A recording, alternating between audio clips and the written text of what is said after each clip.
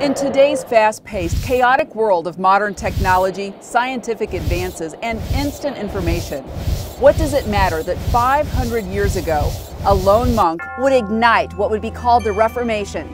We find the impact of that day surrounding us more than we may realize.